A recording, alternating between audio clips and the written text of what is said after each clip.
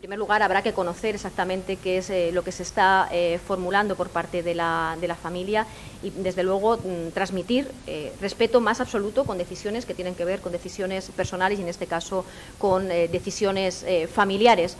Recordar, en este caso, algunas cuestiones, y es que queda pendiente conocer la profundidad de ese fallo. Se conoció el fallo, pero hay una absoluta falta de información. Todavía no conocemos el fondo de esa sentencia y, por tanto, eh, resulta conveniente llegar al fondo de la, de la sentencia para hacer todas estas valoraciones, como conocer si efectivamente se va a producir esa petición.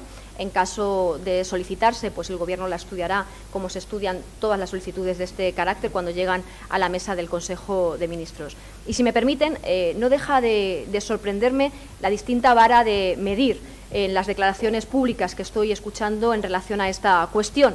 Personas que hoy ocupan despachos pagados con dinero negro que se atreven a hacer valoraciones de responsables políticos que primero asumieron su responsabilidad y por tanto dejaron de un lado todos sus cargos públicos y en segundo lugar ha quedado constatado, en todas las eh, fallos judiciales que ha habido al respecto que no se llevaron ni un solo euro, ni para sí ni para su partido. Eh, no deja de sorprenderme esa doble vara de medir. Creo que para tener autoridad en esas declaraciones lo primero que tendrían que hacer es abandonar la calle Génova y dejar esos despachos pagados en B.